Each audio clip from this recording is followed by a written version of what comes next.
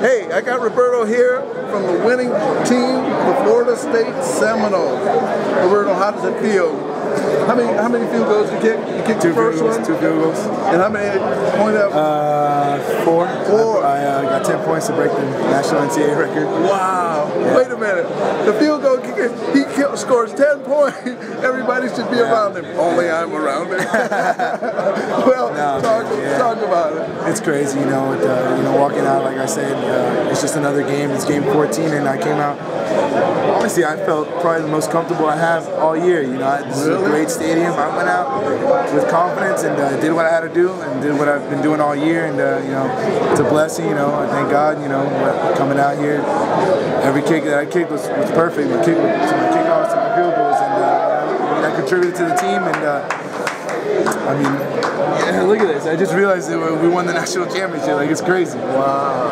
You were perfect. You, you had a lot. You put in a lot of work.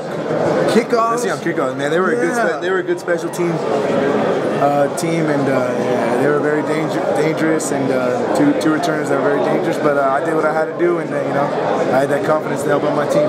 Yeah, you guys did a tremendous job. Now I was, a, I, even I was a little nervous.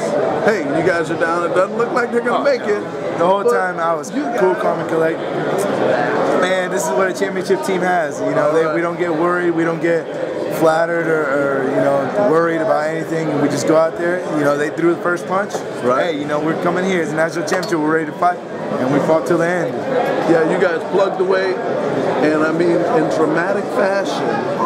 How dramatic was Can that? Get, can you get any better than that? I, I know. I know. Yeah, that's that was pretty pretty incredible. Yeah. Yeah. I mean, because they were they they weren't giving up. They, they scored weren't. a touchdown. They didn't go for the field goal. No. They they got a touchdown. That put a lot of pressure on you guys. Yeah. But we came back. You know, we always practice on Thursdays, a two-minute drill, game-winning drive, and uh, out right there. Well, look at the camera. Give yourself a big shout out. Shout out to all the Florida State fans out there, man. We, we brought one home to Tallahassee again.